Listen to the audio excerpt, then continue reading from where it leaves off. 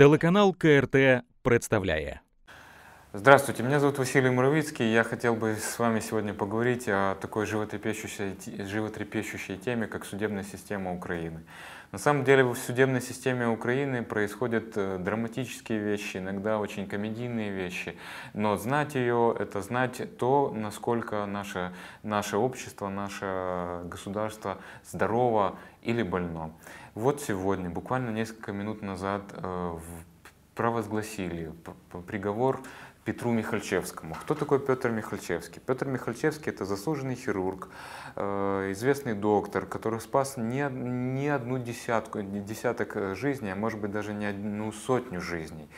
И сегодня Днепровский суд ему вынес приговор 10 лет тюрьмы за то, что несколько недель после аннексии Крыма Петр Михальчевский оказался или оставался министром здравоохранения Автономной Республики Крым. Не знаю, успел ли он сообразить в те э, жесткие и э, непредсказуемые времена, что происходит, успел ли он понять, но тем не менее по конвенции, Женевской конвенции, которую подписала Украина, он должен был оставаться, э, защищать э, или лечить людей, наверное, так он себе думал. И э, по этой конвенции он, конечно же, не, не осудный, не подсудный. Но, тем не менее, Днепровский суд по статье «Государственная измена», то есть подрывная деятельность в пользу другого государства, дал ему сегодня 10 лет. Что это означает подрывная деятельность? Ну, вероятно, судьи Днепровского суда подумали, что именно вот лечение людей – это и была подрывная деятельность во вред Украине. Это произошло сегодня. Но еще несколько недель назад э, вся страна, ну, или некоторая часть страны, внимательно следила за э, происходящим в суде э, так называемого, или, может быть, не так называемого активиста Сергея Стерненко. Это уникальный случай на самом-то деле. В течение двух лет Сергею Стерненко, который фактически убил человека, это неоспоримый факт, и он этого не отрицает, не могли два года вынести подозрения.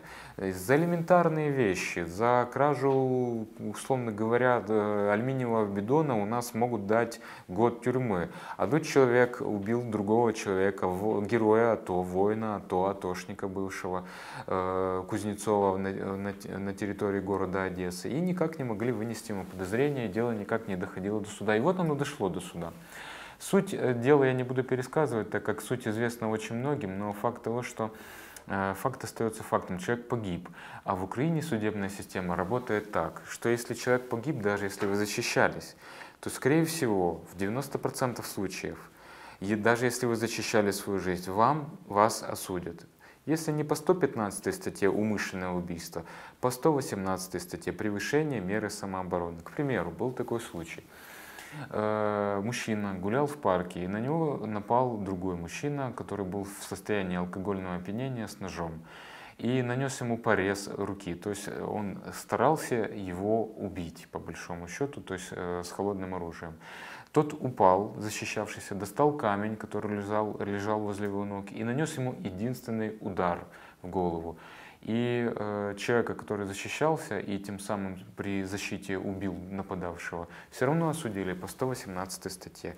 Таких случаев, э, пусть дали ему условный срок, небольшой срок, но э, уголовное преследование было, и он был осужден. Таких случаев масса. Но почему-то прецеденты э, Стерненко совершенно иной. Он убил, следствие говорит то, что он догнал человека. То есть он преднамеренно догонял для того, чтобы э, нанести нанести ему смертельные, смертельные удары. Но тем не менее, два года ему не выносили никакого подозрения. Почему-то судебная система на Сергея Стерненко сломалась. Но э, вся страна смотрит не только за этим, а еще смотрит на, за тем, как у нас происходит карантин. И у нас есть кодекс административных правонарушений. В течение нескольких месяцев по этому кодексу были вынесены десятки, если не сотни приговоров э, в виде штрафов по нарушению карантина. Были там и реальные, э, реальные штрафы, были просто комедийные, комедийные случаи, были и незаконные случаи. Все вспомним такого, давайте вспомним такого, такой случай, когда в гидропарке, вот тут недалеко в Киеве, э, закрывали площадку, и один из пловцов, один из спортсменов, как как оказалось, фитнес-тренер по э, фамилии Бурьянов, решил переплыть речку, переплыть Днепр, это уже немаловажная заслуга, и, наконец, пробраться на эту площадку для того, чтобы там спокойно заниматься спортом, э, как он потом пояснял в суде, это ограничило его конституционные права на передвижение.